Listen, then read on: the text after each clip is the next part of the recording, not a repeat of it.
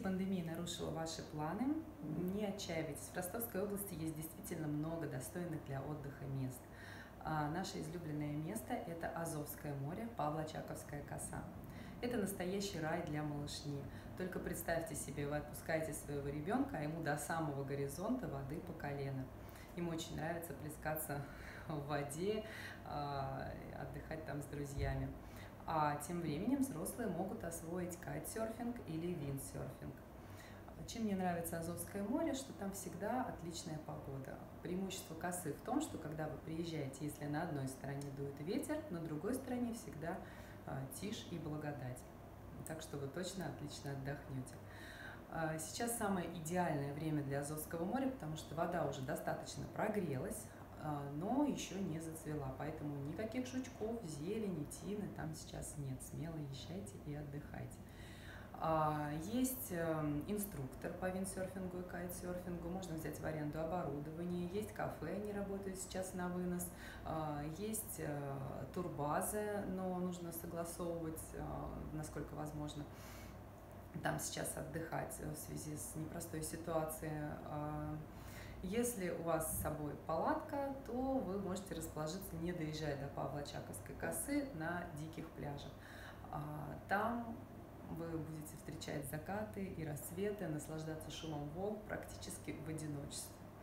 Места очень много. Недалеко от Павла Чаковской косы есть Чумбур коса, там людей вообще нет, но пляжи не такие благоустроенные, очень много ракушек, э, можно пораниться, поэтому с детьми туда ехать. На другой стороне Азовского моря мой любимый город Таганрог. Мне нравится гулять там в любое время года, а, по скверам, по улочкам, по набережной. Сразу а, окунаешься в атмосферу Антона Павловича Чехова, Фаины Раневской и полностью перезагружаешь свой мозг. А если вам повезет и будет дуть правильный ветер, то вы сможете даже искупаться. Если не хочется далеко отъезжать от Ростова, а, хотя мы отъехали всего на 40-60 километров, можно отдыхать и недалеко от города, например, на Соленом озере.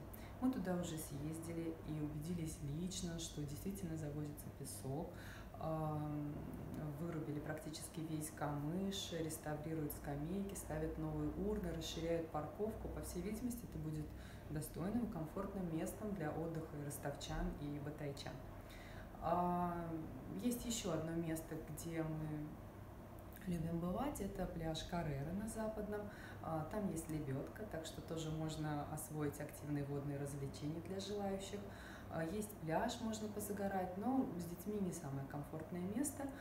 И пока не знаю, как оно работает в этом сезоне. Идем дальше. Старочеркасск. Это место я тоже очень люблю. А, можно и прогуляться по самой станице, она очень красивая, приятная, атмосферная. И можно искупаться в Дону неподалеку, там тоже прекрасные чистые места. Если вы уже освоили все, что находится в ближайшем а, в ближайших 20-40 километров от Ростова-на-Дону можно двигаться дальше. Это Пухляковский. Хутор Пухляковский мы посещаем традиционно дважды в год это на праздник Донскую, Донская лоза, и э, на Масленицу. Ездим туда большими компаниями, с детьми, отлично проводим время. А, когда подъезжаешь к хутору Пухляковскому, открывается великолепный вид на излучину Дона, очень красиво. И когда спускаетесь вниз, тоже великолепные чистые, пусть и небольшие пляжи. А, можно отдохнуть, искупаться, хорошо провести время. Есть здесь также и а, «Затерянный мир», этнографический музей. А, он достаточно большой, интересный для взрослых, а особенно для детей и подростков. Поэтому будете в этих краях, обязательно его посетите. Едем дальше и отправляемся на Маныч.